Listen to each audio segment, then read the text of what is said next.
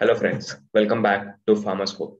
I'm your host Pawar and in this part 3 of biosimilar versus generic series, we are going to learn about evaluation tests for biosimilars, especially the monoclonal antibody products and generic medicine drug products, which are used in pharmaceutical industries. This session is going to be very interesting and knowledgeful. So let's begin. So as you can see on this slide, uh, we'll go with uh, the first and the foremost uh, evaluation test which is performed in biosimilar is the protein concentration. So as we know, biosimilars are made up of proteins. So the first and foremost and the prime most uh, evaluation test that to be performed is protein concentration. So the most frequently used instrument is SoloVPE, and uh, in that instrument, it's based upon the principle of Beer-Lambert's law. It's basically UV spectroscopy. So in that, what we do, so we perform the analysis at 280 nanometer, and there is an extinction coefficient specific to specific monoclonal antibody. And using that, we find out the how much is the protein concentration in that sample or in that drug product. So that is the first uh, evaluation test, which we go with the biosimilar drug product. Similarly, on the other hand, generic medicine, the prime most or the most important, uh, we can say, the evaluation test is the assay. So first we do the identification of API because we, have we have to be sure that the same API is present in the drug product. So we go with the identification. Then we perform the assay of API. So usually the assay limit is 95 to 105% of the label claim. So for example, if the label claim is 100 mg, then 95 mg to 105 mg should be present in a drug product. So that gives us the assurity that the actual, uh, the uh, appropriate amount of drug is present in our drug product. Then the most, uh, the another important uh, test is the uniformity of dosage units. So that can be performed by content uniformity as well as by the weight variation test. We will go with the content uniformity because that is usually or most widely used for UOD, that is uniformity of dosage units. It's important because uh, I will just give an example. So if we are making a tablet of a fixed dose combination, if we have a three APIs, uh, one API has a 75% of the 75% uh, drug content. Second API comprises of, uh, we'll say 10% and the third for 5%. And the rest is the excipient. So now in this case, when we will do granulation, dry mixing, that 5% API should be uniformly distributed throughout the uh, blend and it should be uniformly present in that finished tablet also. And to check that whether all the three drug contents are present in the same appropriate uh, percentage, we do uni uh, content uniformity. Similarly, uh, when we perform any, we are, we are making an emulsion or suspension, that time also content uniformity plays a major role because at different location of that suspension or emulsion, the drug should be uniformly present.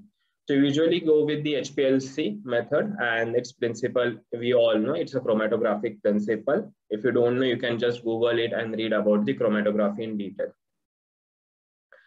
Then the next important method is, uh, or the next important evaluation test is the degradation products. So now uh, here it's a slight uh, variation from the generic medicines so in biosimilar, there are two major degradation pathways or degradation product. First is the size and the second is the charge.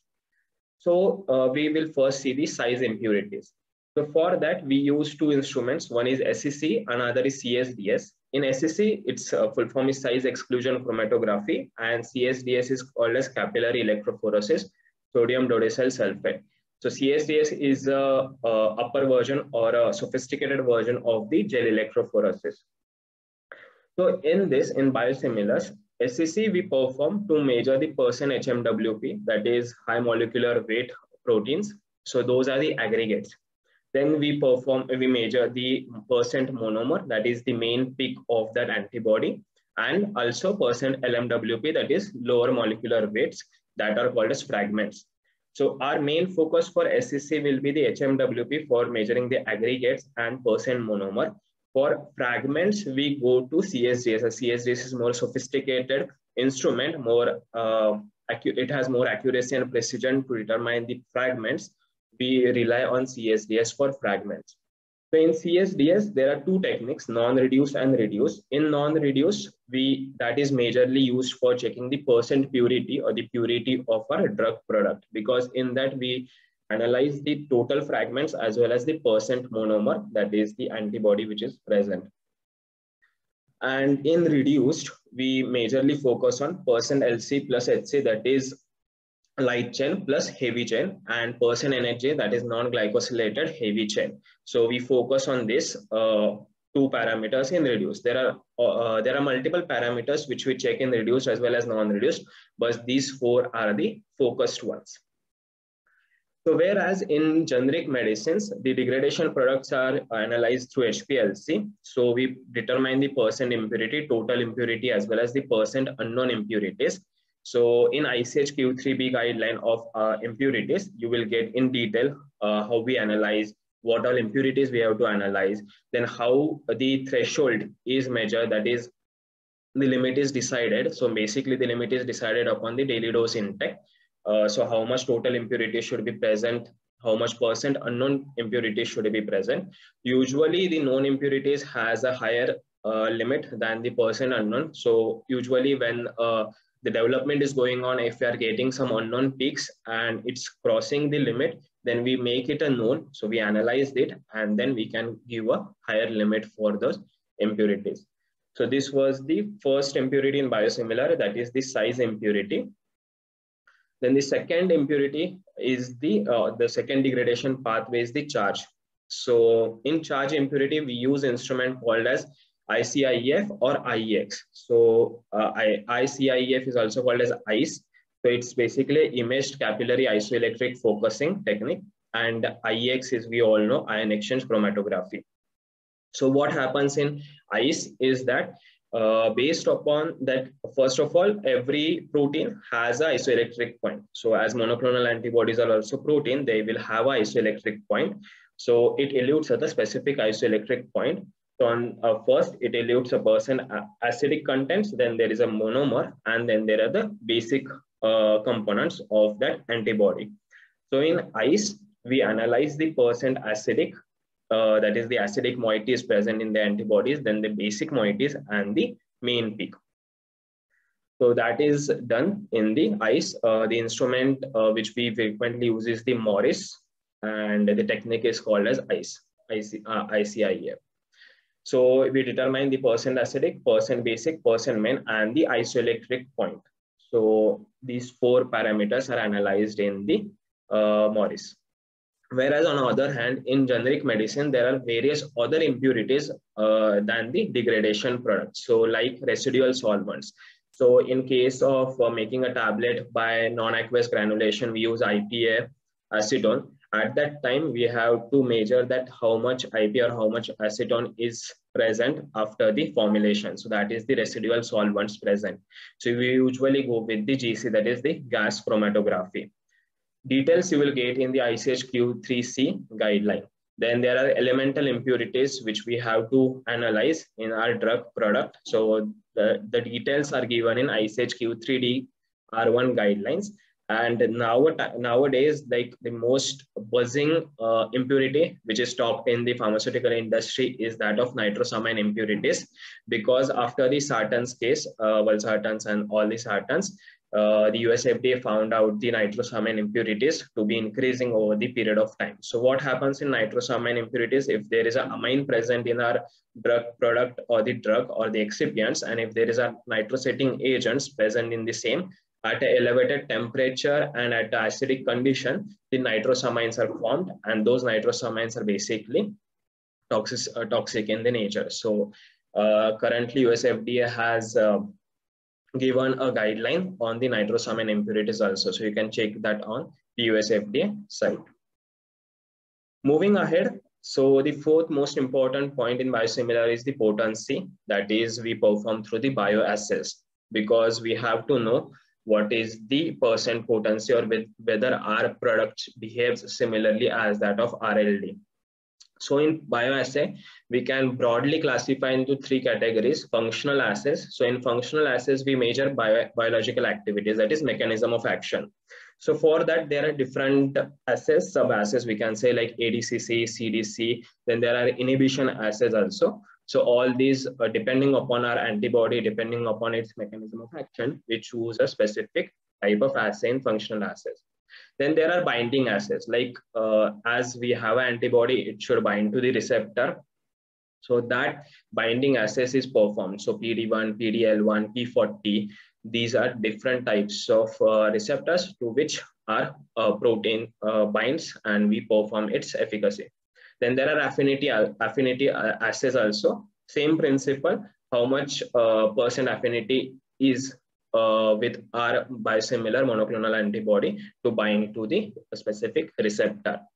So that all data is basically represented in the relative potency term. So relative potency is basically the efficiency coefficient EC50 of the uh, of the RLD, which is compared with the EC50 of the test, and that ratio should be close to one. So usually nine, uh, usually 0.95 to 1.05 is the most stringent one, which we go ahead to choose whether our uh, biosimilar is behaving same as that of the mono, uh, RLD. So that is dependent upon the relative potency. Whereas in generic medicines, the most crucial and most frequently used evaluation test is the in vitro dissolution for oral solids basically. So in that we use various dissolution apparatus depending upon which drug product uh, we are using. Then uh, to analyze, we use, H, uh, we use HPLC. So in that we determine the percent drug release or the percent drug dissolved over a period of a time in a suitable media. So that is the in vitro dissolution. Moving ahead, so as biosimilars are the parenteral products, uh, the importance, uh, there is importance for the sterility. So we go with the sterility testing as well as bacterial endotoxin uh, test. So in also in generic medicines also, if uh, we are uh, developing a parenteral product, we have to perform sterility test, bacterial endotoxin test, and as well as antimicrobial effectiveness test. A uh, because uh, in parentals most of the, uh, mostly we use antimicrobials. So that effectiveness has to be measured. These are a few general tests which we perform in biosimilars upon, up, apart from the specific degradation assay tests. In biosimilars appearance color particulate matter clarity subvisible particles mfi ph ph plays a very crucial role in biosimilars because uh, if there is a slight variation or a major variation in the pH, it may cause degradation of the drug uh, of the antibodies or of the protein. And that's why it's important to maintain that pH uh, range, which is predefined. Osmomolality also, as they are parenterals, we have studied the isotonic uh, principle. So usually 280 to 320 milliosmol is the range which we go for. So as a drug, drug product or as a parenteral, it is going to be injected directly into the bloodstream. So it should have similar isotonicity. If it's a hypotonic or hypotonic, it may cause the complications. So it's important to measure the osmomolality. Then extractable volume, how much volume uh, we can extract or we get out of the uh, finished product that is measured in extractable volume. There is a glide force for the uh, injectable uh, pre-filled syringes also. Then for generic medicine, same appearance, color, particulate matter, clarity, subvisible particles, then pH, osmomolality for the parenteral products, extractable volume. For ophthalmic drop weight is crucial because uh, we have to get the similar drop weight because drop weight will uh, again affect how much drug is being administered so that is important to analyze the how much is the drop weight. Then water loss. Usually in ophthalmics, if there is a water loss, uh, there, it will affect the assay also, and then the efficacy. For tablets, uh, I, uh, that is the in-process that size, shape, DT, friability, hardness are uh, measured. Then these are the few excipients measurement tests which perform in biosimilars. So in biosimilars, there are basically uh, four to five or three to four uh, excipients which we use, surfactants for stabilization, buffers, sugar, and if required, then the preservative or antimicrobial. But mostly surfactant, buffer, and sugar are present in the biosimilar monoclonal antibody formulation. So it's essential to measure whether there is a degradation in the PSAT polysorbate over the period of time, because if there is a degradation, it will going to affect the uh, monoclonal antibody stability also. So we measure uh, usually by HPLC or by different techniques, we measure the concentration. Similarly, in generic medicines, uh, if we are making a parenteral product, if there is a preservative used or a, a liquid suspension solution is used, is prepared, and if it contains a preservative, then we have to measure the preservative concentration also. So like BKC or methyl paraben, propyl paraben, because if over the stability, the preservative concentration decreases below a certain period of time, then it may cause the degradation of a drug product.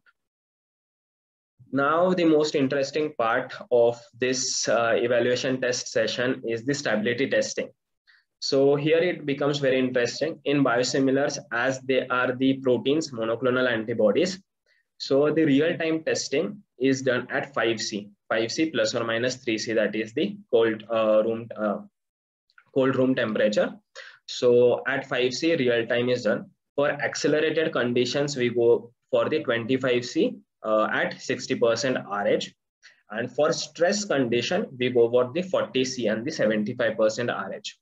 Whereas in generic medicines, the real time is done at 25C uh, at 60% RH or 30C uh, 65% RH, depending upon at which zone, uh, for which zone of the world we are doing the formulation. So there are various zone, zones uh, described by the ICH guideline. You can just go on the ICH and type the stability zones. You will get the different stability uh, temperatures and the RH for specific zones, as well as for 5C uh, if it is specified.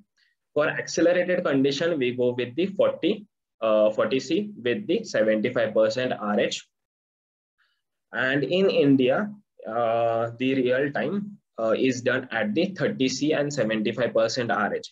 Uh, this becomes crucial when we apply for the DCGI license. They usually uh, they usually ask for the real time for India, that is 30 75% stability. So that's why it's important to know this uh, time point, know this stability condition. Whereas in biosimilars, as the uh, the upper real time accelerated states condition uh, were tested for the drug product, we have a drug substance also. So usually what happens uh, in biosimilar industry, drug substance uh, is prepared in a bulk, then it is stored. And as the uh, uh demand for the drug product comes in the market, it, that DS is converted into drug product and then supplied to the market. So that's why it's become essential to measure the uh, stability of the drug substance also. So in drug substance, uh, depending upon the product, depending upon the characteristic of the monoclonal antibody and the formulation, either we freeze it. So at minus 40, we check the stability, or if it is not stable at minus 40, we go for the 5C. That is the cold room temperature. So this is for the drug substance. Moving ahead, so the last point of the evaluation test is the clinical efficacy because uh, if we don't perform the clinical efficacy, we are not sure whether our test generic or biosimilar will behave same as that of RLD or innovator. So for clinical efficacy in biosimilars, we go, we go with the PKPD measurement, immunogenicity, and clinical studies. Whereas for generic medicines, the uh, fundamental is the bioequivalence testing. So we go with the PK fasting fed Cmax AUC unless and until a different uh, testing is mentioned by the US FDA for the specific product. So this was all about the various evaluation tests which we perform for biosimilars and generic medicines in pharmaceutical and biotechnology industry. I hope you have learned and if you have learned then do subscribe, share and comment uh, for this session. So stay tuned. Goodbye.